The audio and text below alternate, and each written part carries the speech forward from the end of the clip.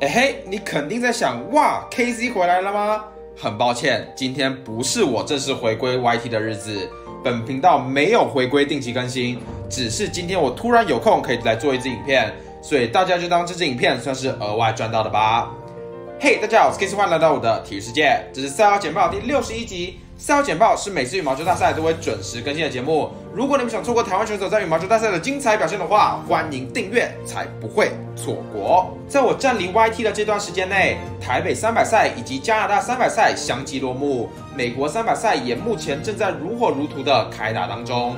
今天这集我们就来简单聊聊这三周所发生的比赛趋势，包括在台北三百赛打进决赛的苏利扬，到底是昙花一现还是星星崛起？加拿大三百赛山口茜的绝地大逆转，以及小森终于夺下本季首冠。最后就是目前的美国三百赛，林俊逸能否在一票高手中杀出重围，卫冕冠军呢？就让我们开始今天的赛后简报吧。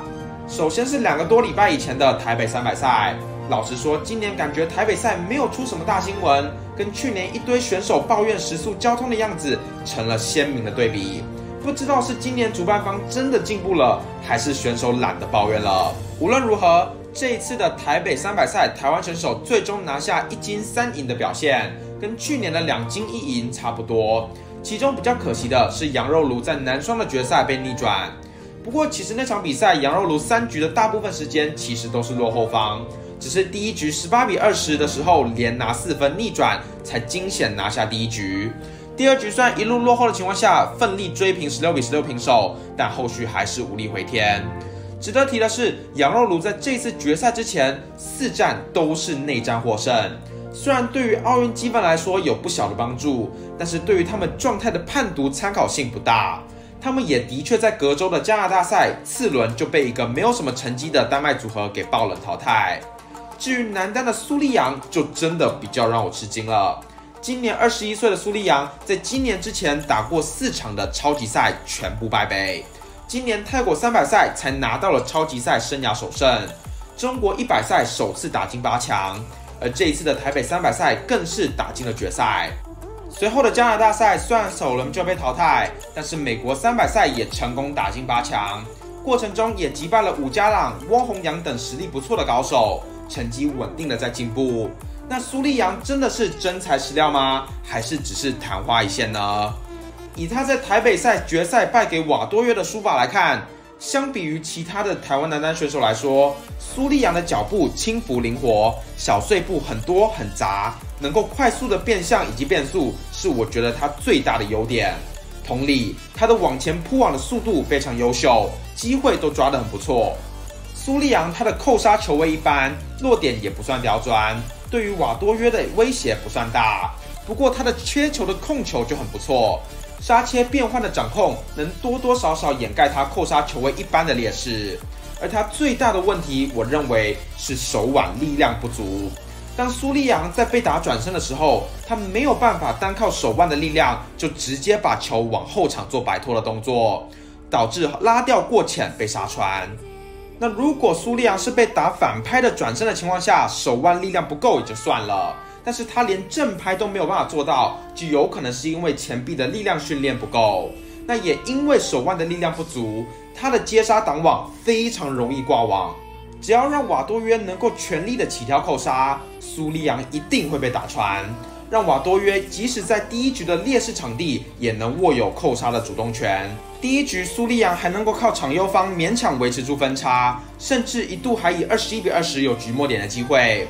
但是第二局换到了劣势场地，分数就直接被拉开了，是这场比赛败北的主因。以纯球技的角度来看，手腕以及前臂的力量训练，我认为是苏利扬所最缺乏的。不过，其实苏利扬最大的问题以及劣势都不是这些。苏利扬他最缺乏的是一整年世界各地来回跑的超级赛经验。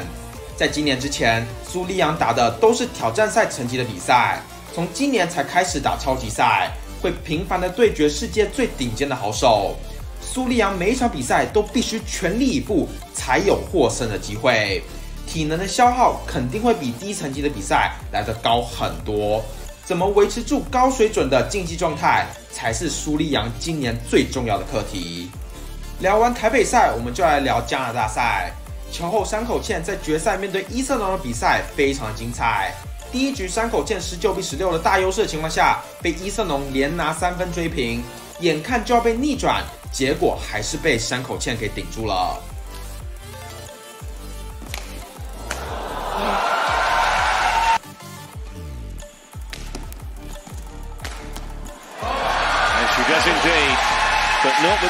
第二局，伊瑟农靠着勾对角、切球以及杀球的精湛球技，一度打出了十五比十一的领先优势，却瞬间化为乌有。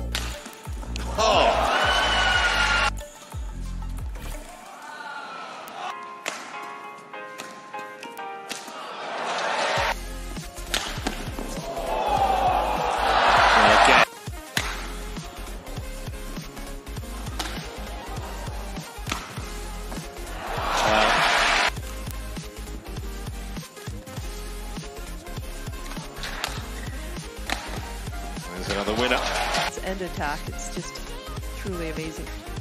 Oh, look at that. This does one better. Speed. Look at Gazelle.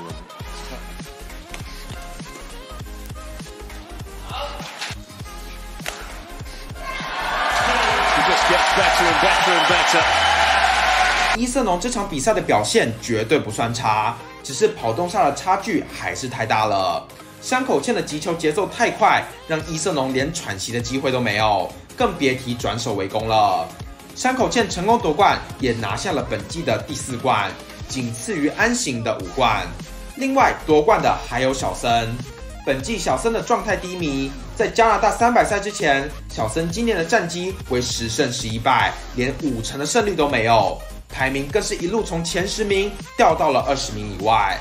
这次一举夺冠算是令人蛮意外的，过程中更是击败了昆拉武特、西本全太以及李诗峰三位本季都夺冠过的选手。以三百赛来说，含金量非常的高，而他的排名也爆冲了七名，来到第十二名的位置。决赛上第二局森更是在十六比二十的局末点之下，连拿六分，上演绝地大逆转。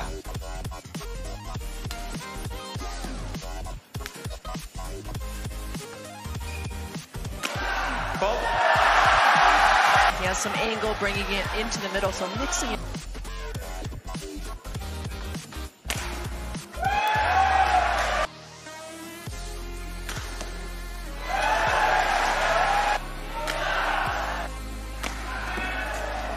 Good digs. Oh, what a net. Get back in it. It's in the net.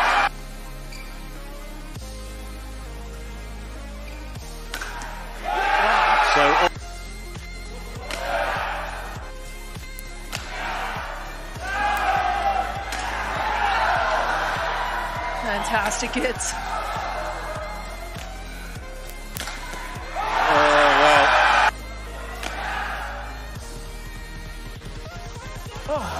The net called. 特别是最后两分都是擦网的幸运球，让李思峰没有任何反击的机会。小森在幸运女神的帮助下，成功拿下了本期首冠，让男单的局势又变得更加的混乱了。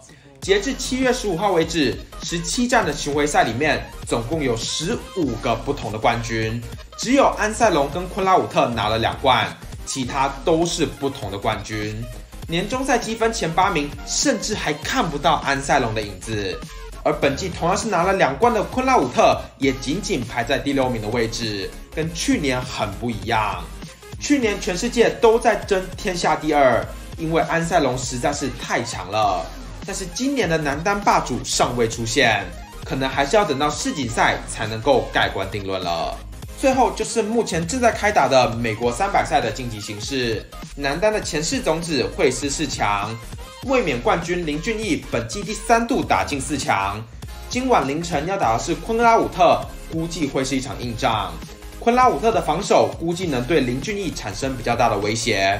如何在进攻被守下之后还跟得上节奏，是林俊逸突破昆拉武特的关键。女单的 F 四都不在的情况下，状态勇猛的伊瑟农看起来是夺冠的大热门。只是伊瑟农他上周也打进了决赛，今天会是他在十天内的第九场比赛了。连续两周的密集出赛，让本来体力就不算出色的伊瑟农将会面临不小的挑战。今晚他要面对的是击败新度的高仿杰。男双方面将会上演台湾的内战，至少会有一组进决赛争冠。本季台湾有三组的男双打进过决赛，却全部落败。希望这次会有不一样的结果。而女双则是有情景组合打第一种子的丹麦组合，而最后就是混双，也是台湾内战。其中宣方组合在十六强打赢了实力同样强劲的中国组合。本季台湾混双打了两次决赛，也都落败，就看这次能否一举夺冠吧。那再次提醒，本频道没有回归定期更新哦，所以不要再问我什么时候才会继续更新了，我自己也不知道。谢谢大家今天来我提起我是 K C 马，下次再见，Peace out。